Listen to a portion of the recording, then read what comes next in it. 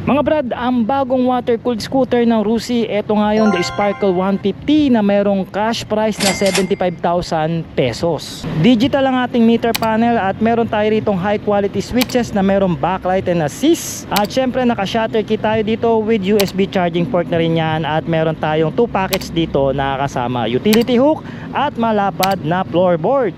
All LED dito sa likod mga brothers na magmula sa turn lights and also yung kanyang tail lights. 14 inches din ang ating gulong dito mga brothers na gumagamit na tubeless na goma. And also naka single shock naman ang ating rear suspension dito sa likod at drum brake naman ang ating preno. Dito sa harap naka LED ang headlight nito na meron daytime running lights and also LED na rin ang ating turn lights. Naka telescopic park ang harapan natin dito and also 14 inches ang kanyang wheel mags. Naka front disc brake naman ang ating preno dito sa harapan. Seat height natin dito mga brothers is around 780 mm at ang underseat compartment nito kakasya ang isang open face na helmet at meron tayo ritong tank capacity na 5.5 liters. At syempre sama natin dito ang kanyang solid plastic na grab bar na provision sa top box. Sa makina meron tayo ritong 149cc single cylinder, dalawa yung valve niya, single overhead cam and of course naka water cooled ang kanyang cooling system dito dahil mataas ang kanyang compression ratio. Kaya nitong dumulo ng 14.1 horsepower at umaarangkada naman ito ng 14 newton meter of torque.